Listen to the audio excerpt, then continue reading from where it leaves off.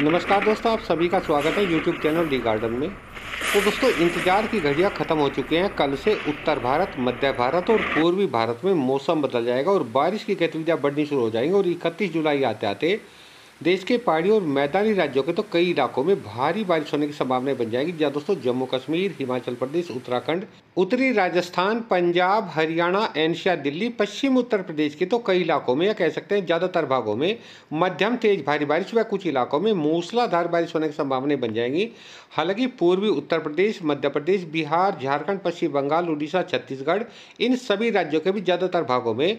अगले 24 से 48 घंटों के दौरान हल्की मध्यम में कुछ भागों में तेज भारी बारिश होने की संभावनाएँ बनी रहेंगी। तो आइए जान लेते हैं पूरी जानकारी। तो दोस्तों, कल से मैदानी राज्यों में दोनों तरफ़ की नमीदार हवा यानी कि अरब सागर से भी और बंगाल की खाड़ी से भी देश के मैदानी राज्यों में पहुँचना शुरू हो जाएगी, जिससे देश के मैदानी राज्यों में बादलों की आवाजाही बढ़ जाएगी और मौसम बदल जाएगा और मैदानी राज्यों के तराई वाले क्षेत्रों में कल से हल्की मध्यम में कुछ भागों में तेज बारिश होने की संभावनाएँ बन जाएँगी। वैसे तो आप सभी जानते हैं देश के मैदानी राज्यों में पिछले काफ़ी लंबे समय से पूर्वी हवाएँ चल रही है, जो कि बंगाल की खाड़ी से आ रही है, लेकिन इन हवाओं में इतनी ज़्यादा पर्याप्त नमी नहीं है कि ये बादल बना सके और बारिश दे सके। इसलिए मैदानी राज्यों में लंबे समय से मौसम साफ़ है ड्राई बना हुआ है, लेकिन कल से दोनों तरफ़ की नमीदार हवाएँ देश के मैदानी राज्यों में मॉइस्चर बढ़ाना शुरू कर देंगी,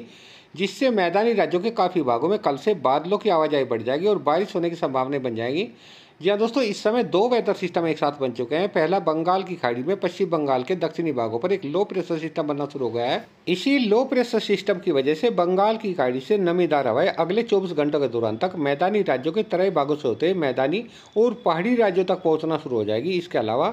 गुजरात के पश्चिमी भागों पर इस समय एक सर्कुलेशन दिखाई दे रहा है, जो कि पिछले 24 घंटों के दौरान गुजरात के उत्तरी पूर्वी भागों पर एक लो प्रेशर सिस्टम के तौर पर बना हुआ था, जिसके बारे में मैंने आपको कल की वीडियो में बताया था कि गुजरात के उत्तरी पूर्वी भागों के साथ साथ राजस्थान के दक्षिणी भागों में भारी बारिश देने के बाद में यह सिस्टम धीरे धीरे अरब सागर की ओर बढ़ जाएगा, जो कि इस समय गुजरात के पश्चिमी भागों पर एक सर्कुलेशन के तौर पर दिखाई दे रहा है। और दोस्तों, इसी सर्कुलेशन की वजह से अरब सागर से नमी हवाएँ पाकिस्तान के ऊपर से होकर के कुछ इस तरीके से पहाड़ी राज्यों तक पहुँच रहे हैं, जिसकी वजह से पहाड़ी राज्यों के ज़्यादातर भागों में पिछले 24 घंटों के दौरान से तेज भारी बारिश की गतिविधियाँ शुरू हो चुकी हैं। लेकिन अगले 24 से 48 घंटों के दौरान जैसे जैसे सर्कुलेशन थोड़ा आगे की ओर जाएगा, यानी अरब सागर में थोड़ा आगे की ओर बढ़ेगा तो इस समय जो ये नमीदार हवाएँ पहाड़ी राज्यों पर पहुँच रही हैं। ये भी थोड़ा नीचे की ओर आ जाएँगी, यानी कि मैदानी राज्यों पर आना शुरू हो जाएँगी, जिससे दोनों तरफ़ की नमीदार हवाएँ देश के मैदानी राज्यों पर पहुँचना शुरू हो जाएगी, जिससे अगले 24 घंटों के दौरान से मैदानी राज्यों के काफ़ी भागों में बादलों की आवाजाही बढ़ जाएगी और हल्की मध्यम बारिश होने की संभावनाएँ बन जाएँगी। लेकिन मैदानी राज्यों के तराई वाले भागों में या तराई वाले क्षेत्रों पर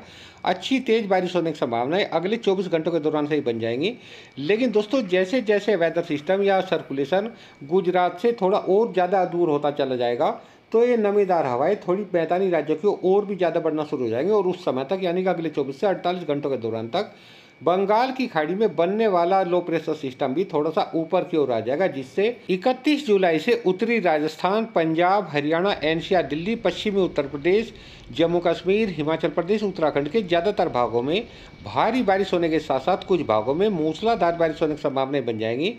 तो दोस्तों, इस तरीके से 31 जुलाई से देश के पहाड़ी मैदानी राज्यों में तेज भारी बारिश होने की संभावनाएँ बनती दिखाई दे रही हैं। हालाँकि अगले 24 घंटों के दौरान से मैदानी राज्यों के काफ़ी भागों में बादलों की आवाजाही के साथ में हल्की बारिश की गतिविधियाँ शुरू हो जाएँगी। हालाँकि पंजाब, हरियाणा, उत्तर प्रदेश के तराई वाले क्षेत्रों में अगले 24 घंटों के दौरान से ही हल्की मध्यम व कुछ भागों में तेज बारिश की गतिविधियाँ शुरू हो जाएँगी। तो आइए जान लेते हैं कि अगले 24 घंटों के दौरान इन सभी राज्यों के किन किन भागों में या किन किन जिलों में हल्की मध्यम व किन भागों में तेज बारिश होने की संभावना है। तो दोस्तों, अगले चौबीस घंटों के दौरान जम्मू कश्मीर, हिमाचल प्रदेश, उत्तराखंड के काफ़ी भागों में हल्की मध्यम व कुछ भागों में तेज भारी बारिश होने की संभावना बनी रहेगी। मैदानी राज्यों की बात करें तो पंजाब, हरियाणा, एनसीआर, दिल्ली और पश्चिमी उत्तर प्रदेश, पूर्वी उत्तर प्रदेश के ज़्यादातर भागों में कल से बादलों की आवाजाही बढ़नी शुरू हो जाएगी और हल्की मध्यम बारिश की गतिविधियाँ शुरू हो जाएँगी। जैसे कि हरियाणा के जो उत्तरी भाग हैं, पंचकुला, यमुनानगर अम्बाला कुरुक्षेत्र, करनाल, पानीपत, सोनीपत, रोहतक, भिवानी, झज्जर, महेंद्रगढ़, चरखी, दादरी, रेवाड़ी, गुरुग्राम इन सभी जिलों के ज़्यादातर भागों में कल बादलों की आजावी के साथ में हल्की मध्यम इक्का दुक्का स्थानों पर तेज बौछारे गिर सकते हैं। उत्तर प्रदेश की बात करें, वैसे तो उत्तर प्रदेश के पश्चिमी उत्तर प्रदेश से लगा करके पूर्वी उत्तर प्रदेश के भी ज़्यादातर भागों में अगले चौबीस घंटों के दौरान से बादलों की आवाजाही बढ़ जाएगी और मौसम बदलना शुरू हो जाएगा। कुछ भागों में हल्की बारिश हो सकती है इक्का दुक्का स्थान पर हल्की से मध्यम बारिश हो सकती है, लेकिन उत्तर प्रदेश के जो तराई वाले क्षेत्र है, सहारनपुर से लगा करके मुजफ्फरनगर, बिजनौर, मुरादाबाद, रामपुर, बरेली, पीलीभीत शाजापुर लखीमपुर, खीरी, बहराइच, श्रावस्ती, बलरामपुर, सिद्धार्थनगर, महाराजगंज, कुशीनगर, देवरिया, बलिया, गोरखपुर, गोंडा, बस्ती, इन सभी जिलों के ज़्यादातर भागों में हल्की मध्यम या कुछ भागों में तेज बारिश होने की संभावना बन रहेगी। हालाँकि पूर्वी उत्तर प्रदेश के जो अन्य भाग है, अन्य ज़िले हैं, रायबरेली, अमेठी, सुल्तानपुर, आजमगढ़, मऊ बलिया गाजीपुर भदोई वाराणसी चंदौली सोनभद्र मिर्जापुर प्रतापगढ़ कौशाम्बी चित्रकूट बांदा सुल्तानपुर आजमगढ़ अयोध्या अंबेडकर नगर, रायबरेली, अमेठी, लखनऊ, बाराबंकी, गोंडा, गोरखपुर, बस्ती, इन सभी जिलों के ज़्यादातर भागों में हल्की बारिश होने के साथ साथ कुछ भागों में हल्की मध्यम बारिश की गतिविधियाँ शुरू हो जाएँगी। हालाँकि दोस्तों, बिहार की बात करें तो अगले चौबीस घंटों के दौरान बिहार के मध्य भागों में तो देखिए बारिश होने की संभावना बहुत ही कम दिखाई दे रही है। हालाँकि बिहार के जो उत्तरी पश्चिमी भाग है, दक्षिणी पश्चिमी भाग है, पश्चिमी चंपारण, पूर्वी चंपारण, गोपालगंज, सिवान, सारण, सीवर, सीतामढ़ी, मुजफ्फरपुर और इसी के साथ में बक्सर, भोजपुर, अरवल, जहानाबाद, औरंगाबाद रोहतास, कैमूर, गया, नवादा, नालंदा, शेखपुरा, लखीसराय, जुमई, इन जिलों के कुछ भागों में हल्की मध्यम बारिश हो सकती है कुछ भागों में तेज बौछारें गिर सकती हैं। हालाँकि झारखंड, पश्चिम बंगाल, उड़ीसा के ज़्यादातर भागों में अगले 24 घंटों के दौरान अच्छी तेज भारी बारिश होने की संभावना है छत्तीसगढ़ की बात करें तो छत्तीसगढ़ के दक्षिणी भागों में तो बारिश होने की संभावना थोड़ी कम रहेगी, लेकिन छत्तीसगढ़ के जो उत्तरी पश्चिमी भाग हैं, कवर्धा, मुंगेली, बिलासपुर, कोरबा कोरिया, सूरजपुर, बलरामपुर, सरगुजा, जसपुर, रायगढ़, इन जिलों के ज़्यादातर भागों में हल्की मध्यम या कुछ भागों में तेज बारिश होने की संभावना बन रहेगी। इसी के साथ में मध्य प्रदेश के भी मध्य, दक्षिणी पूर्वी भागों के साथ साथ उत्तरी पूर्वी भागों में कल से बारिश की गतिविधियाँ शुरू हो जाएँगी। सतना, रीवा, सिंधी, सिंगरौली शहडोल उमरिया, अनूपपुर, डिंडोरी, मंडला, बालाघाट, सिवनी, नरसिंगापुर, जबलपुर, रायसेन, छिंदवाड़ा, होशंगाबाद, बैतूल, हरदा,